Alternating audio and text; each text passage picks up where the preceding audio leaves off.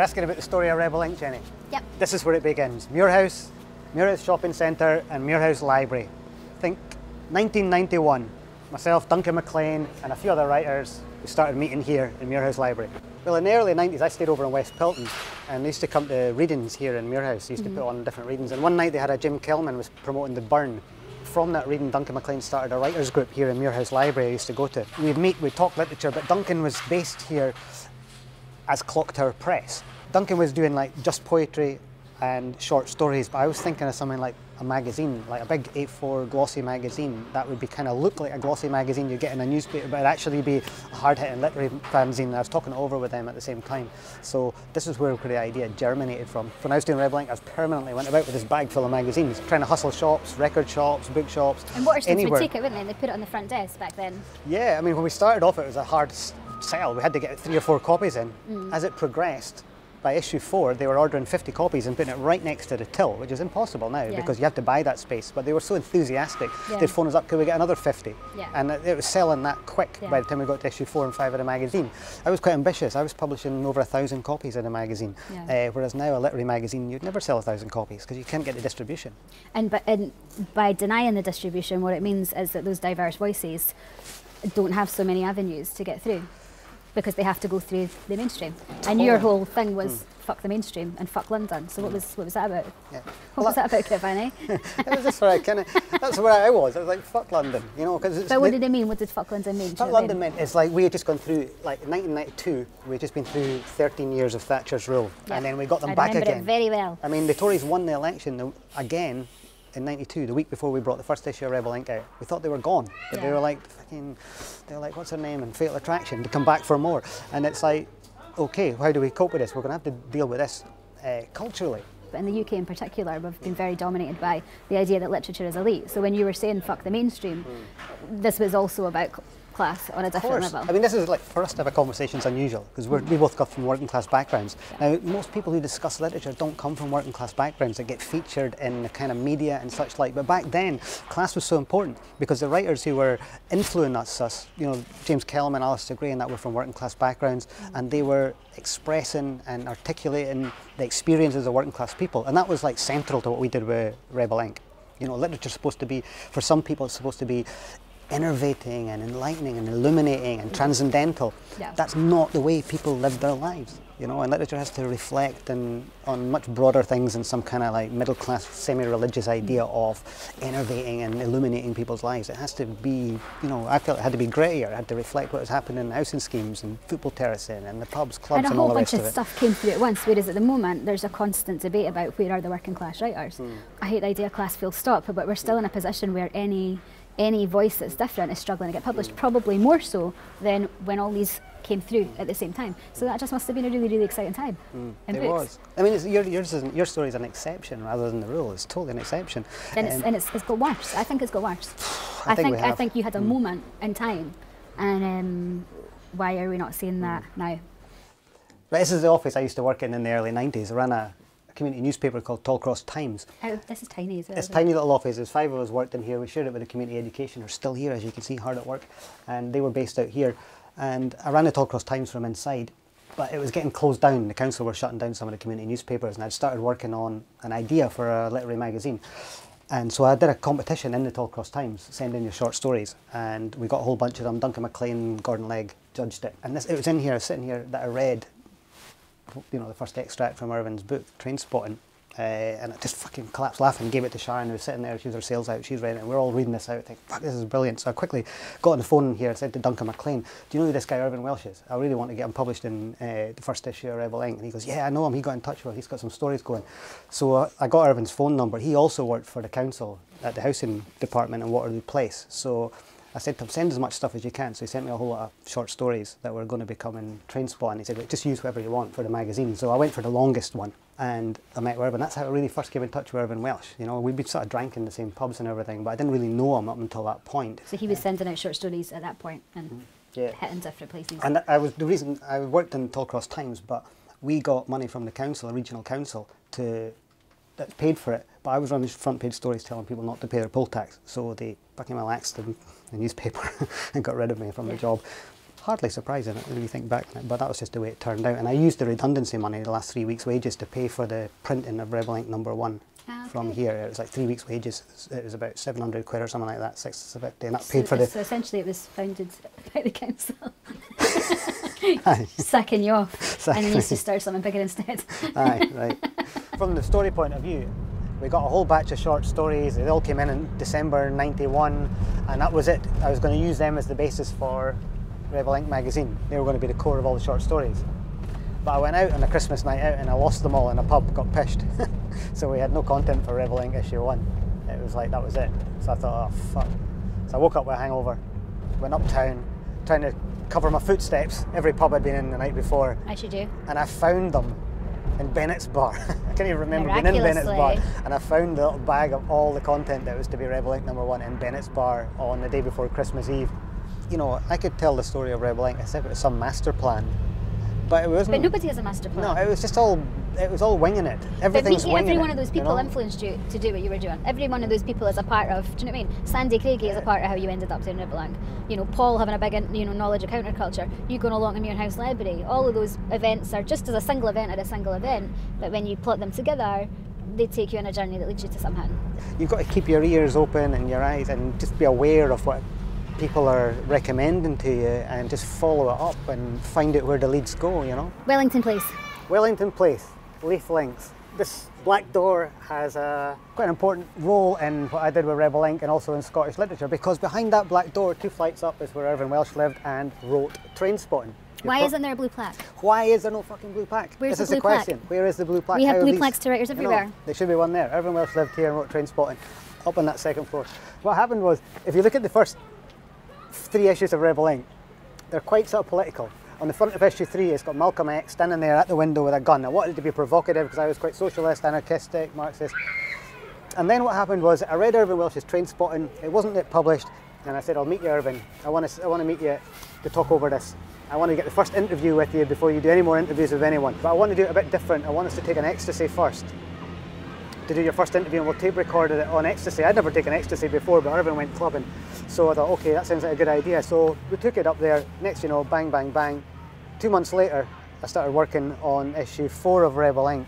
But this time Malcolm X is out the window, and this is where I decided to get the front cover of me and Irvin's tongues with an E on it. And it became very iconic, issue four. And the whole of issue four was influenced by drugs and drugs culture. There's no doubt about it. It was very psychedelic, the writing was psychedelic, everything had changed from issue three.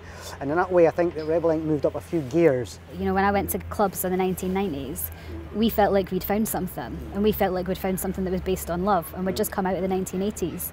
which was the most materialistic decade. Totally. Paul Reekie called it the these the chill out rooms were the new boot camps of interaction. He called it in his own inimitable way. And there was an you know there was a truth of that. The chill out rooms you sat and you talked about everything. Yeah. You know, music, poetry, love, sex, the revolution, whatever. All these things were happening in the chill out rooms at clubs. You just kind of wish that feeling was now. I wish people people who are younger had that feeling of you know there's an optimism in there. Things can be done to make things better. That's kind of gone. Now it's a total back against the wall political thing, and people feel under threat. You know, But they don't want people to come together in the same way. You know, you had the, the, the legislations against marching.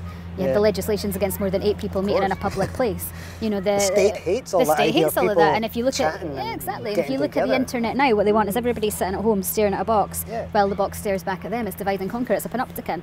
It's a it's a thing that we weren't dealing with actually. you know, I think you've hit the nail on the head. Is that if you're involved as a young person in literature and culture, you've got to create spaces. Yeah. You've got to work with other people, find other people, fellow travellers, and create spaces that's not just for promoting your writing Yeah. or your friends' writing, but creating spaces where the idea be filled by ideas that can disperse into whatever direction they need to go in. You know.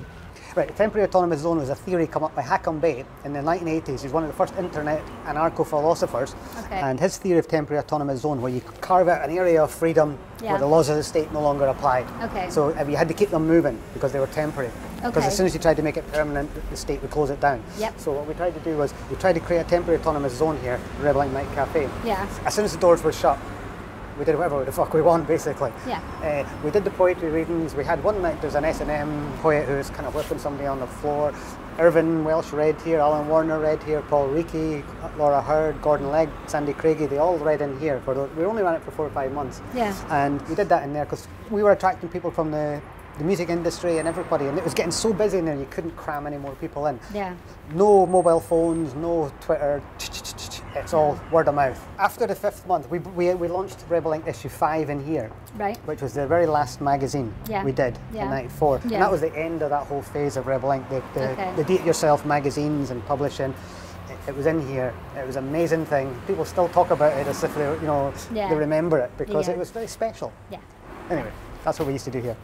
Proper writers community. So why did you all meet at Robbie's?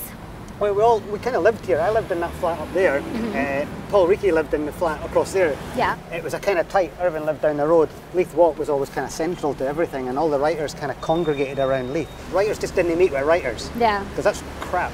It's Leith. We're part of the Leith community. We're feeding off what's happening around about here. So, Alan Warner got in touch with this uh, journalist from the New York Times and said there was a whole scene in Edinburgh. This is 1996. Train Aye. Spotting was just about to come out Yeah. as a movie, and he said there was this whole scene and it was like the beatniks of New York, of, of San Francisco, you know, like Kerouac and Burroughs and all that. But we were-. We were like, Irish, was it fun? But it was a good kind of spin to it, and it was a really good journalist, Leslie Downer, came up, and this photographer took photographs of Irvin, Duncan MacLean, myself, Gordon Legg, and we're all sitting there looking at beautiful photographs, and it appeared in the New York Times magazine as the beats of Edinburgh. And all of a sudden, we got inundated with like offers to go to America, all sorts of things. So it kind of exploded at that point. I was just starting Rebel Inc as a publishing house with Canongate, and so uh, it became a mecca for all these daft Americans coming over. Robbie's going, mecca. Where's all the beatniks? Where's all the beatniks? And it's just all the usual like JK sitting there with their half and half. Like. Aye. anyway, I went over to America, and the idea was to find writers for Rebel Inc, and it was just a, you know, a remit. Who Go- sent you? Canongate. Uh, no, it was myself.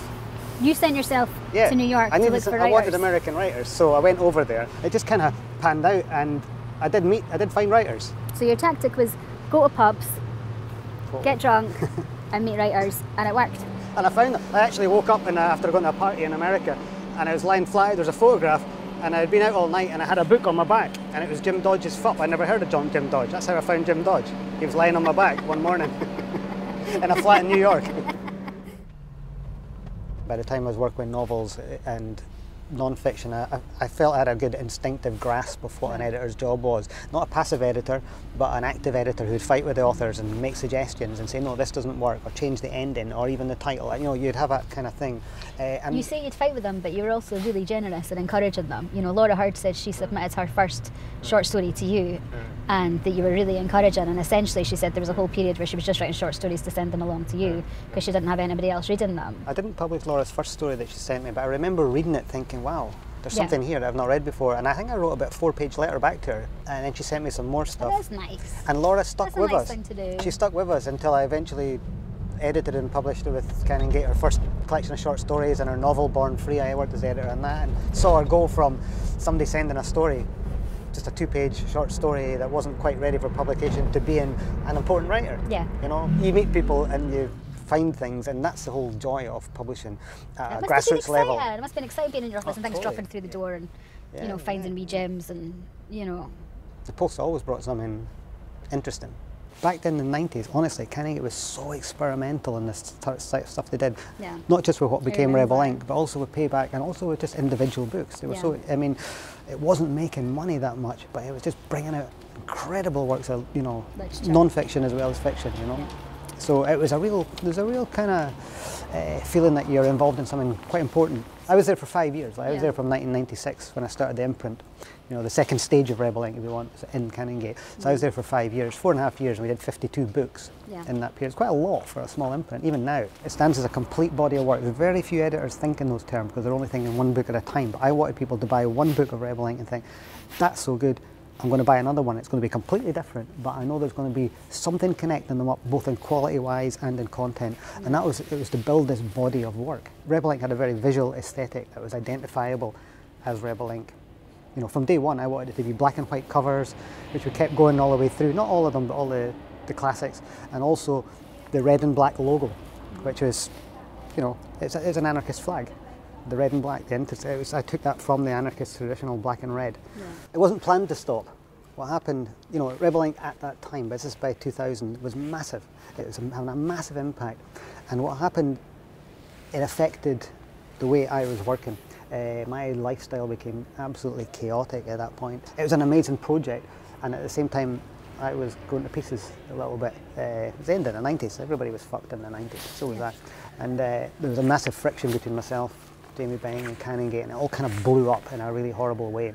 Uh, so it kind of exploded. It just stopped. Myself and Jamie have spoken in the last few years, and we've, you know, we've, we've chatted and everything, and it's nice. You know, we're able to talk about this again in a really positive way, and I feel very positive about what we did with Canongate and with Jamie. Uh, and I also feel that it stopped at 52 books, and they were a good body of work. It didn't tail off, Yeah. so it kind of stopped at its very height. Yeah. And when I look back on it, I think that's good. You know, it's It's not, it's not, it never went. It never sort of slowly declined or became dull. It just became, it was incredible, it was exciting, and then bang, the whole thing exploded. Yeah. And I like that as an ending. That's cool. That was that.